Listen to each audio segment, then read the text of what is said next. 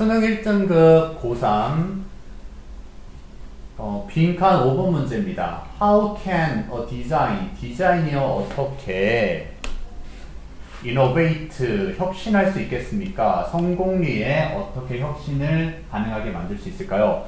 by blank네요. 그리고 조금 좋은 문장은 아닙니다. 원래 주어 동사의 완벽한 문장 나와야 되는데 by의 명사 나오면 부사, 전명구 그리고 뒤에도요 동사 ing 분사 구문으로 부사, 부사의 불완벽한 문장으로 그냥 써버린 거예요. 강조하기 위해서 이렇게 간혹 쓴다고 생각하시면 돼요. 어찌됐든 혁신시키는 방법을 찾아주셔야 돼요. 근데 이 디자인이라는 것 자체가 너무 추상적이기 때문에 얘를 구체적으로 뭐를 혁신시키는 건지 소재를 찾으셔야지 혁신시키는 방법도 찾으시기가 편해요. Always 항상 considering 생각하면서 혁신시켰다라는 거죠. the interaction이니까 상호 관계를요. between the new ideas and the current work practice니까요. 이 부분 잘 보셨어야 돼요. 혁신하려면 반드시 뭐가 필요하다? 새로운 생각과 최근의 일의 관행에 상관 관계가 있어야 된다는 거예요. 즉 무에서 그냥 혁신이 생겨나는 게 아니라 옛 것과 앞으로의 것에 적절한 조화가 있어야 된다는 거예요. 여기까지 어느 정도 이해됐어요? 혁신은 뭐다? 옛 것과 미래의 것의 조화다. 그죠? 계속 가볼게요. consider, 생각해 보세요. 명령문, 중요한 문장 쪽에 속하죠. 그죠? 명령문을 글쓴이가 하고자 하는 말의 확률이 높댔잖아요. 아니면 뭐 should라든지 have to라든지 must라든지 해야 합니다. 형용사 같은 경우도 necessary, essential, vital, 중요합니다, important 그런 부분도 중요한 문장 쪽에 속한댔고요. 어쨌든 뭘 생각해 보래요? The history, 역사를 생각해 보래요. Of the word processor. 어? 중심소재 찾았죠?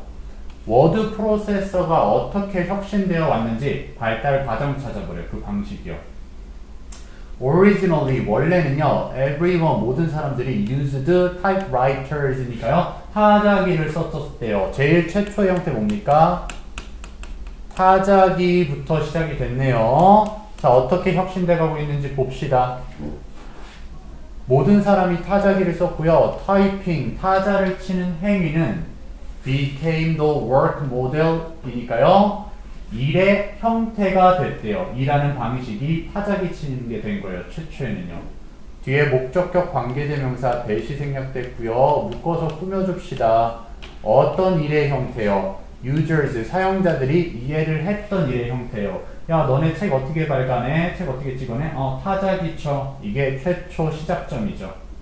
그 다음 보겠습니다. Early Word Processor 이제 초창기의 워드 프로세서로 넘어갔죠. 그리고 워드 프로세서가 뭔지 모르시는 분은요.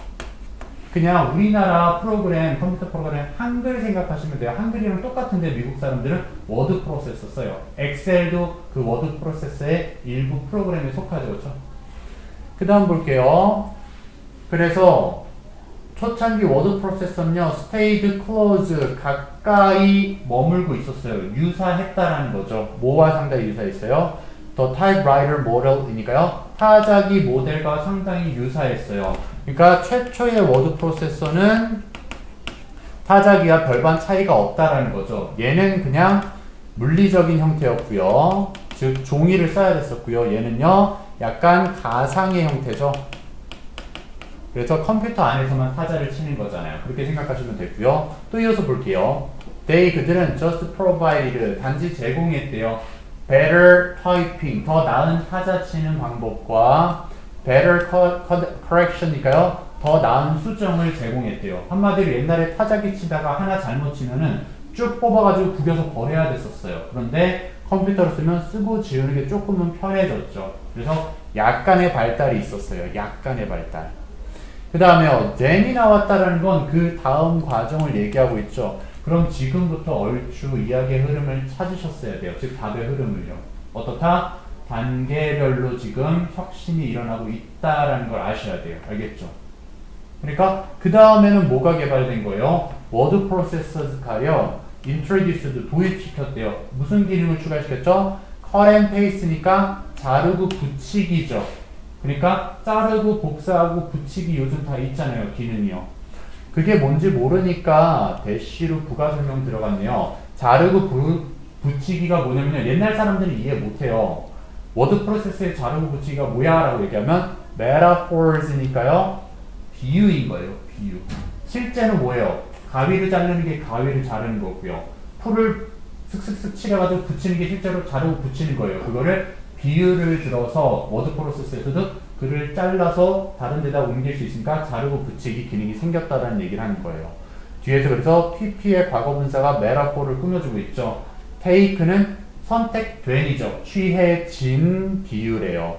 from the physical operations니까요. 물리적 과정으로부터 아까 얘기한 가위를 자르고 풀로 자르는 그 과정에서 택해진 비유인 자르기, 자르고 붙이기 기능이 도입이 된 거죠. 그리고 그 과정이 뒤에서 선생님 말씀드렸듯이 나오죠. 그 물리적 과정이란 자르는 건데 뭐예요? 실제로는 원래는 가위를 잘랐었던 거고요. cutting with scissors. 그 다음에 pasting with glue니까 실제로는 풀로 붙이는 행동을 빌려서 쓴 겁니다. 워드 프로세서가. 그리고 그게 바로 뭐냐면요. 동격, 즉으로 다시 받았습니다. something, 자르고 붙이기라는 것은 즉, 목적격 관계대명사 that이 생략됐고요. everyone had to do 뒤에 목적어 그러니까 빠져있죠. 그렇죠? 그래서 모든 사람이 이미 해야만 했었던 옛날부터 신문 오리고 자르고 했었죠. 스크랩 같은 거. 그걸 해야만 했었던 비유를 그대로 붙였다는 거예요. 자, 그럼 어떻게 되세요? 워드 프로세서가 초창기가 아니라 바로 다음 단계는 자르고 붙이기의 기능이 추가가 된 겁니다. 그럼 또 그 다음 과정으로 또 추가가 되겠죠, 기능이요. 봅시다. These features, 이러한 특징들은요, were, 뭐였다? an easy extension이니까요, 쉬운 확장이었대요. the model이니까요, 형태의 쉬운 확장이었대요. 조금씩 조금씩 추가시키는 게 혁신시키기가 쉬웠다라는 거죠.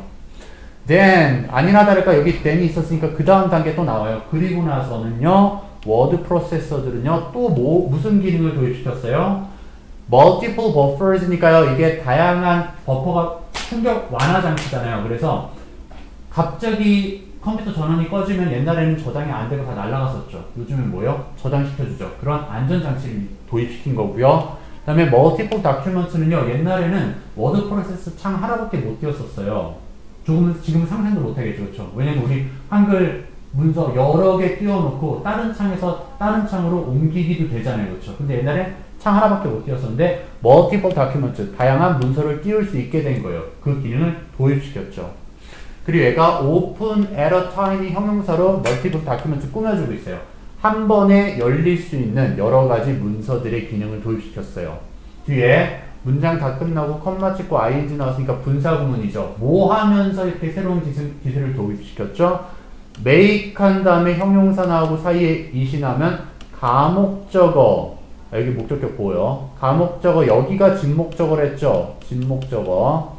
그래서 뭐 하는 것을 쉽게 만들었다? To share and transfer니까 공유하고 이동시키는 것을 쉽게 만들면서 새로운 기능을 도입시킨 거예요.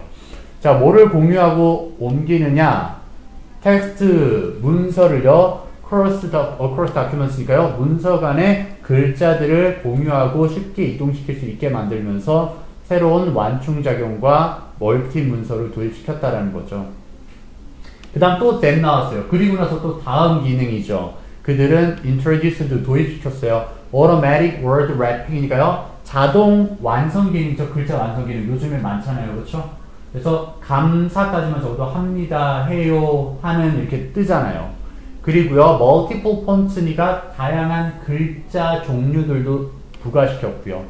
그래서 이제 그리고는 컴마 찍었으니까 아예 새로운 문장으로 다시 봅시다. desktop publishing은요. 옛날에는 활자를 그냥 인쇄물에 찍어서 뽑아낼 수밖에 없었지만 요즘은 뭐예요? 파일로 컴퓨터에 보관하고 있다가 뽑아낼 수 있죠. 그러니까 컴퓨터로부터 출간을 해내는 이라고 생각하시면 돼요. desktop publishing이니까요. 컴퓨터에서 먼저 저장시켜놓고 출간해내는 그 기능이 was born, 탄생된 거예요. 즉 커다란 프레스기로 글자를 활판 인쇄를 다 배열시킨 다음에 찍어내는 물리적인 게 아니라 디지털적으로 바꿨다라는 거죠.